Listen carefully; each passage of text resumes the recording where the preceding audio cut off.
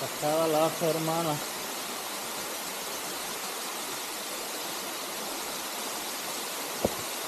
Espero les guste. Estas dos.